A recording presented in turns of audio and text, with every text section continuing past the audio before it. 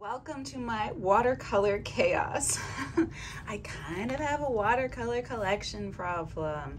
I have student grade and artist grade. I have pans and sticks and tubes and I'm a little bit obsessed. And you would think that obsession would have would lead me to being really confident in knowing what direction to go with my watercolor choices when I sit down to do a little watercolor painting.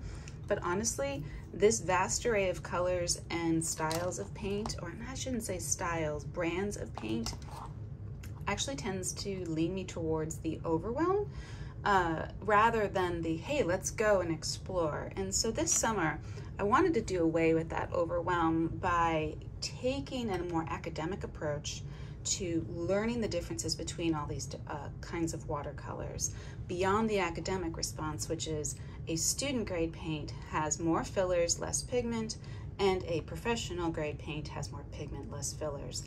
I understand what that means. I understand there's a price difference as well, but what does that really mean when I get down to painting? I honestly didn't have a real response to that instinctually inside of myself. And so I wanted to explore what I had in a very systematic way. This desire of mine coincided with my good friend Stephanie of Demi Godet, I think it's a French word, Demi Godet or Demi Godet on Instagram. I'm gonna link all of her stuff here within this video. She has a fabulous Skillshare course that she shared with me kind of as a preview. And one of her lessons set my, my academic art nerd heart on fire and said, that's what I wanna do to get better acquainted with my supplies. And so I'm gonna show you the outcome of that. I'm not gonna teach you what Stephanie did. You gotta go see her class on Skillshare. It's epic, and I'm telling you, it has led me to having more watercolor confidence, and create and honestly it's transferred over into my other art like my uh, my acrylic art and my colored pencil art because what it taught me was understanding my pigments as well as understanding my watercolors themselves. So let's get started looking at that incredible book that I made, and I say incredible without feeling hyperbolic at all. I am so excited about this resource that I made for myself, and you can make something like this for yourself too, especially if you go over to Stephanie's Skillshare um, website. I'm not sure, I, she's my first person I've known on Skillshare, so I'm not really sure I'm referring to those properly, but I'm gonna link it all down so that all you have to do is click a button and you can go and see what Stephanie's got going on in her classes. They're for everyone and they are full of joy and knowledge, which is my favorite way to learn.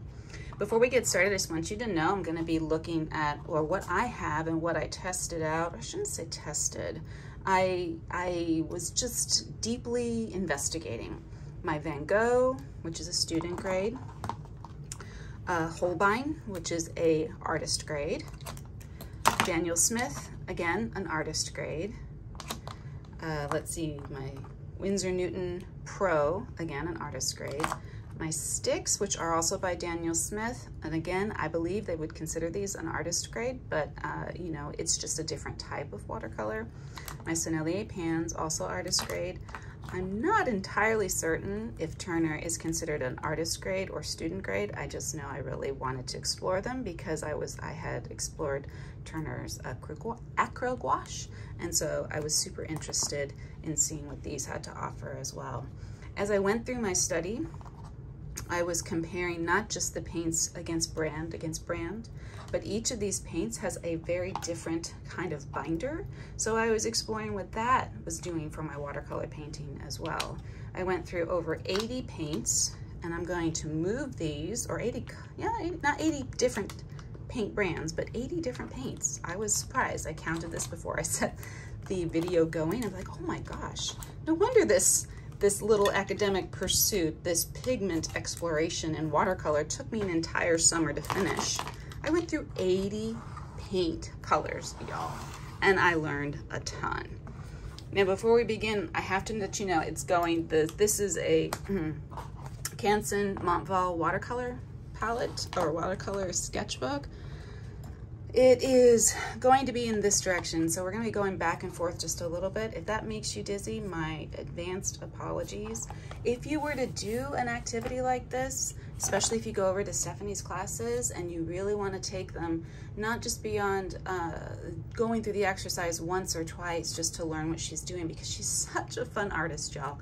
You really have to check her out. But if you wanted to explore this as more of an academic way, which is what I did, definitely an option. You don't have to do it. That's not what Stephanie's saying. Like, you need to swatch all your paints. No, that was, it's called playful watercolor squash, swashing. Swatching, not squashing. I didn't squash my watercolors. I just really wanted to go really deep into nerd mode. So I considered this this sketchbook because I wanted to keep it all in one place so I could constantly refer back to it. You'll see, I even made myself a reference and then I took a screen a screenshot. I don't even know how to think in, out of tech in RIL. This is not a screenshot. I took a photo of this. This lists all the different colors that I tested.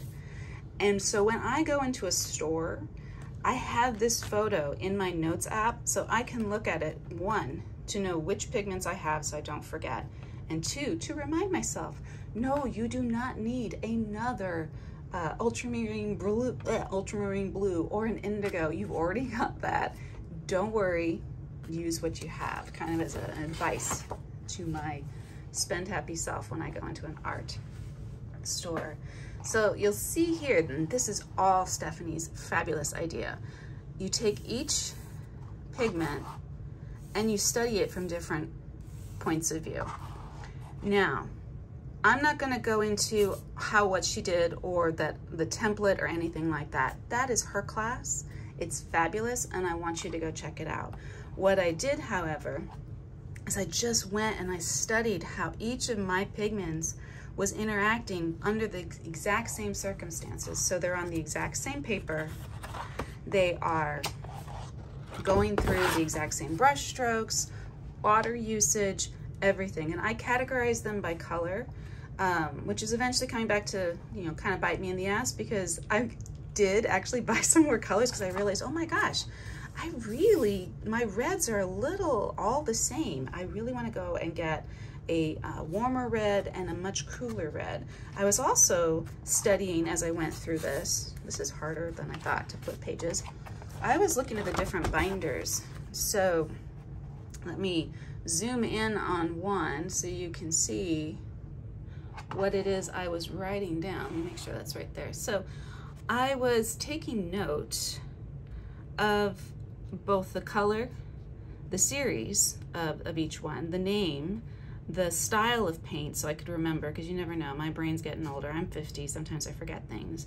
The light fastness the pigment information which I found to be incredibly helpful because I kept going back and forth and then I was really beginning to memorize what they were the pigment numbers so that if I did see something oh PB15 semi or colon 3 that's going to be phthalo blue and it's going to be heavy towards the, the cooler side of phthalo blue.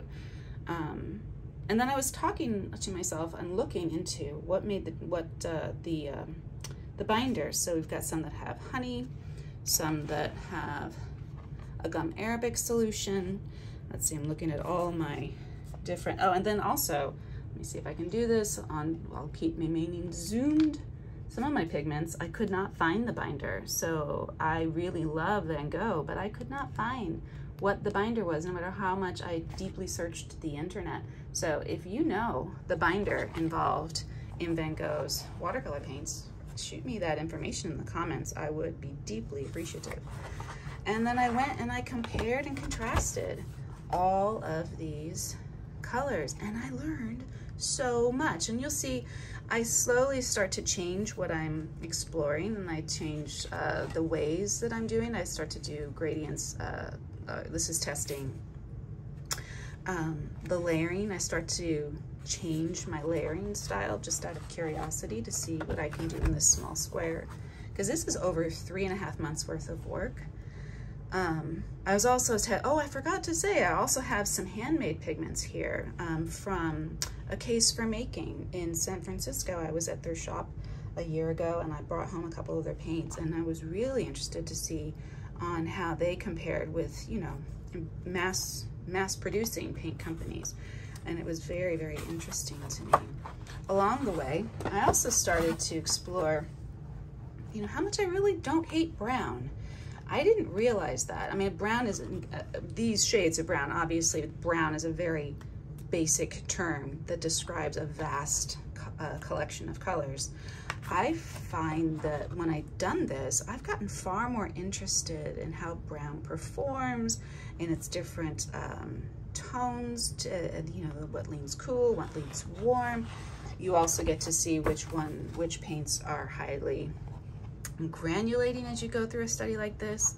And I also happen, I've got to show you this. This is this was one of my bigger finds. Let me zoom in. Um, make sure I can get it all the way there. Was Shadow Green by Holbein, which is actually a black pigment, but it doesn't really come across super good on camera, but oh my lord. This is now my favorite color, and I don't believe in favorites, but I now have one, and it is this shadow green, and I fully intend to paint an entire painting that's simply using uh, different values of, of uh, shadow green moving along. This is about when I started to bring in some more pigment, pigments because I was like, oh, you know what, I kind of need more. this was supposed to make me not want to buy more paint and to realize I had a lot. But then I'm like, but you know, I don't have a yellow ochre. You know, I need a Chinese white. That would be really helpful when I did color mixing.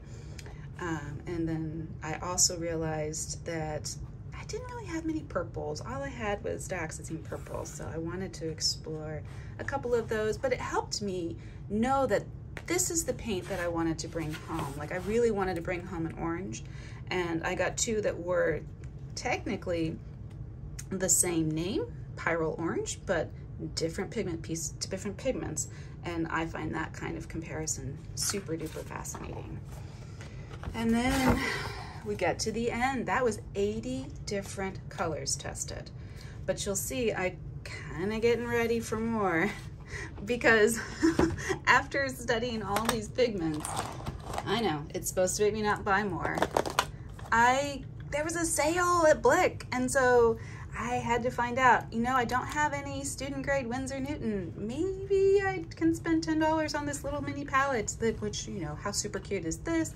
It can go in my purse whenever I go places.